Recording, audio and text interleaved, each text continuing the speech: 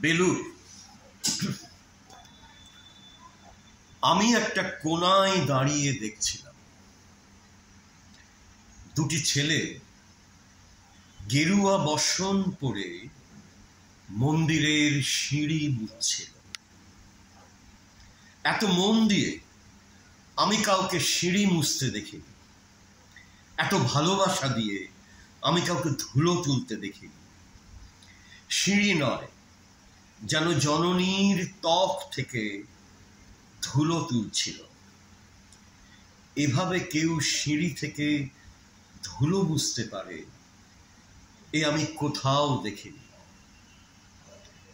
স্থিত প্রজ্ঞ মহারাজকে জিজ্ঞাসা করল এই ছেলে দুটি কে? মহারাজ মৃদু হেসে বললেন, একজন নিউক্লিয়ার ফিজিসিস্ট, একজন আইবিএম এর ছ লাখ টাকার চাকরি ছেড়ে এখানে এসেছে। সিঁড়ি ধুতে এসেছে। যে সিঁড়ি দিয়ে মানুষ ওপরে ওঠে, তা যেন পরিষ্কার হয়। মহারাজ চলে গেছেন। সন্ধ্যা নেমে আসছে গঙ্গায়। আমার ভেতরেও নামছে সন্ধ্যা। সারা পৃথিবীতে এত সিঁড়ি সিঁড়িতে সিঁড়িতে এত দাগ, এত ক্রোধ, এত অপমান।